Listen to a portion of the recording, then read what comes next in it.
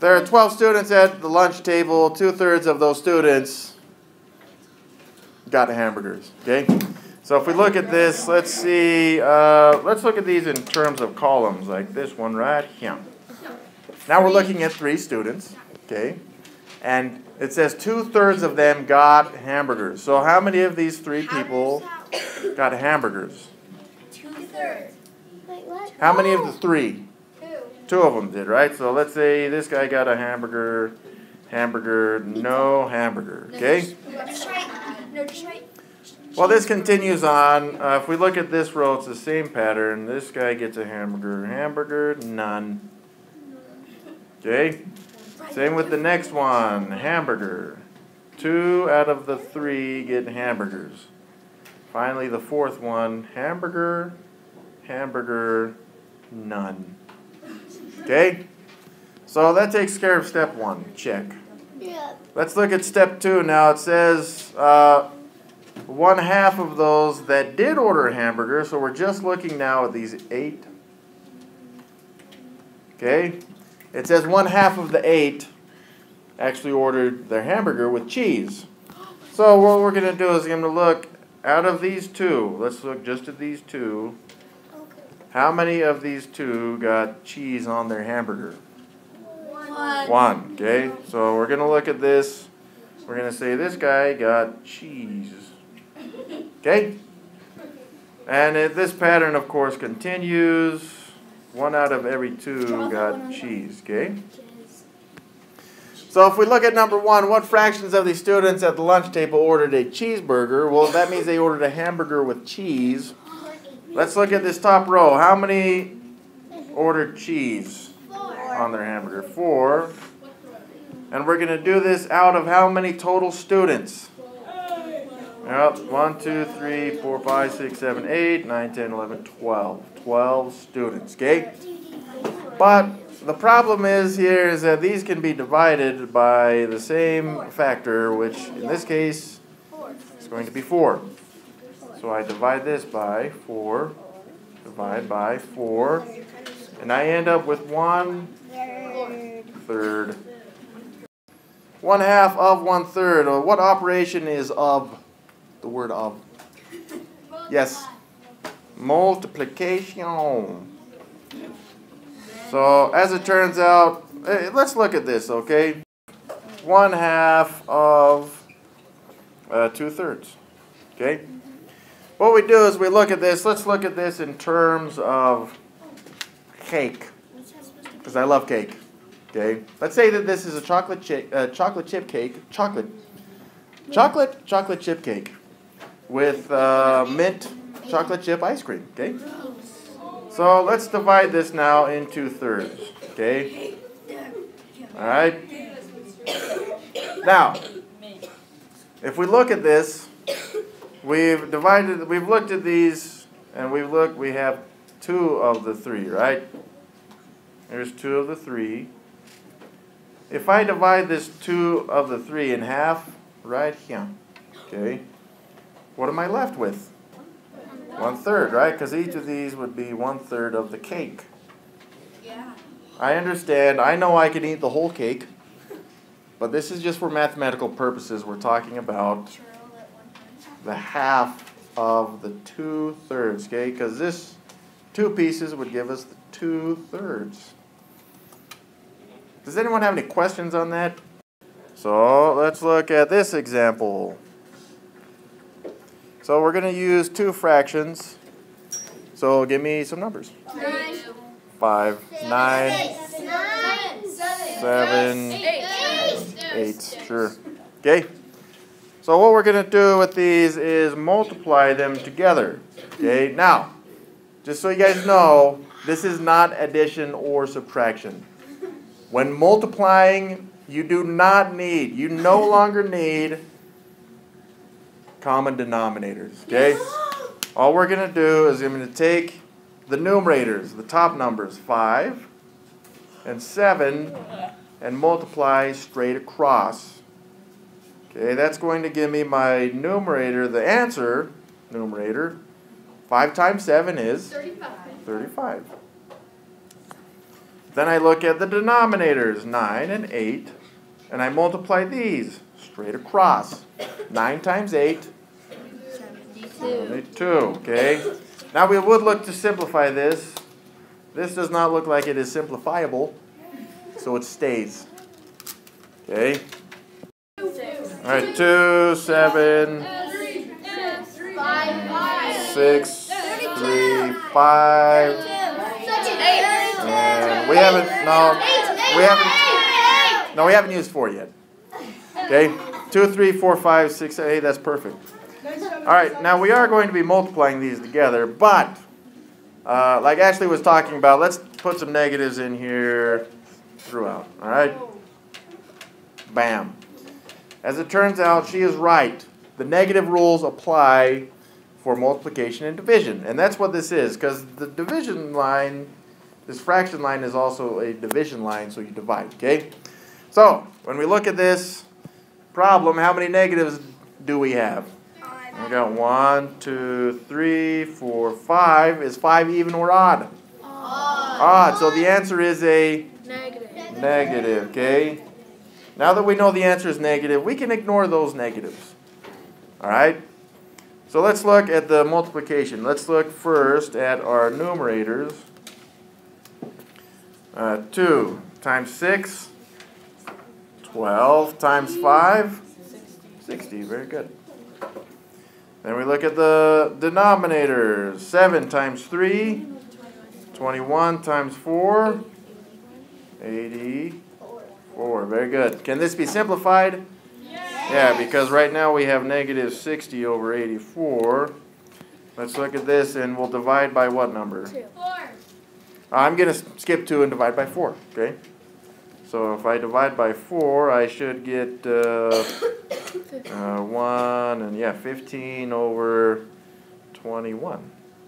Can I s- simplify this? Yes, I can, right? Divide by 3.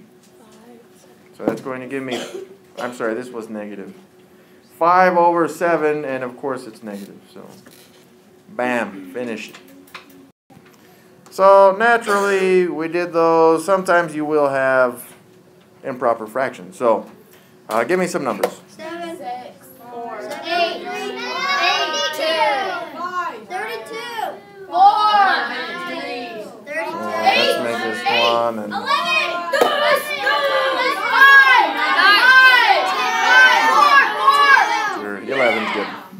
All right, but here's what we're gonna do: is we're gonna make the seven negative and the one negative and multiply these two together. All right? Okay. So this is multiplication. Uh, listen, if you have mixed numbers, don't have mixed numbers anymore. Okay? What this means is that you need to turn these into improper fractions. Okay? So this one, I, oh, well, first of all, how many negatives do I have? Two Two negatives.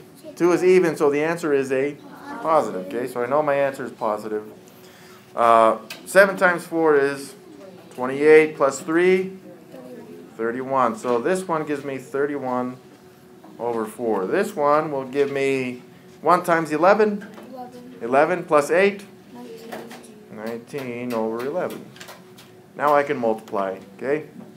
So 31 times 19 is a very big number. Uh, 5, 589, thank you. So I've got 589er, whoops, over 4 times 11, 44. Can this be simplified? It doesn't look like it. It appears it may not. So this answer is final. I know, some of you want to put this as a mixed number, do it. But I'm not going to because there's big numbers. All right, so let's look at a whole number example. All right. So sure, let's do negative niner times uh, half. One half. one and a half. Sure. Okay, that makes it easy. Well, the thing here is that negative 9, you don't see the fraction, but there is a fraction. Oh, it's nine over one. Negative. Negative 9 over 1. Okay? So this would give you negative 9 over 1 times, this would now be 3 halves. So negative 27 halves. All right, listen, all this page is telling you in your book, this is on the next page. Uh, all this is saying is that you no longer need common denominators to multiply. So do not need common denominators. And you just multiply straight across. Which means if you have 3, 7, 12 fractions, it doesn't matter. You're just multiplying straight across. All right? Great. Examples. Oh, this is good. Uh, let me show you guys this real quick technique because some people use it. Okay. Uh, notice I have a 3 in the denominator and a 3 in the numerator. What this means is that they're both divisible by 3. I can cross these out and they're 1s now. Now I've got 1 times 1, which is 1. 1 times 4, which is 4. Now listen, if you didn't do this, you'd still be fine. What you would have had is 3 twelfths, which would then have simplified to 1 fourth. All right? So let's look at this next one. How many negatives do I have? Two negatives. Two is even, so my answer is a positive. Okay? So I can ignore those negatives, and I just multiply. 4 times 1, 4. 9 times 4, 36. Yep, we need to reduce this. Divide by 4. Divide by 4, and this equals 1 ninth. And it is positive, okay? No answers should be as decimals. We want these as fractions, okay? Yes, for now they are. All right, let's look at this one. Philip rowed his boat ashore. Okay? Bicycle. He rode his bicycle at nine and a half miles per hour. If he rode for three fourths of an hour, how many miles in simplest form did he cover? Well, this is how much per hour he's covering. So if he rode this many hours, what do we do? Brindley. Very good. Nine and a half times three fourths. Well, we need this to be a improper fraction, okay? So 9 times 2 plus 1 would be 19 halves times 3 fourths. Bam!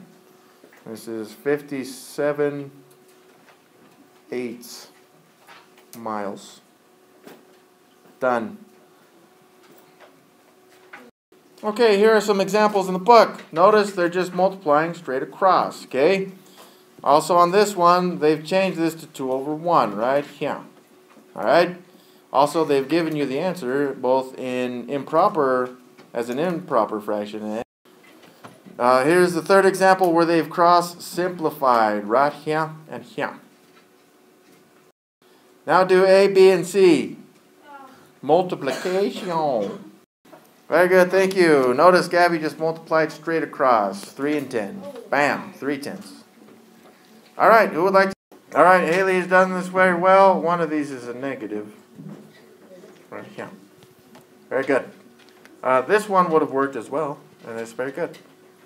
All right, who would all right. Well, Swayze's very close.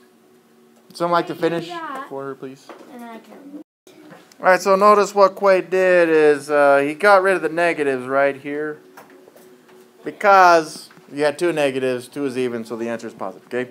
Then he divided by 3 and he got this answer. Very good. The only difference is this example is using mixed numbers. What we already did. That example's in the book. Try these three, D, E, and F.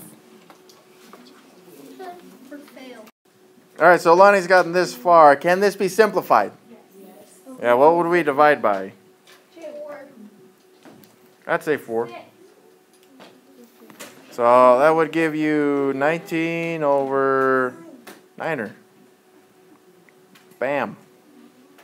All right, very good, Tanner. Notice he's changed this mixed number into a improper fraction and multiplied 16. Excellent. Notice uh, Ashley here, she's cross-simplified uh, all four of the numbers and made it much easier to multiply. You get 9 halves. Okay? All right, here's a word problem. Listen, if you see word problems, just know that it's likely you're going to be doing what with the two fractions? multiplying, okay? Because we've been multiplying all day, and it's very rare that they're going to be like, oh, now subtract. Okay? Multiplication. So, and that's what they've done. They've multiplied. Start on the homework.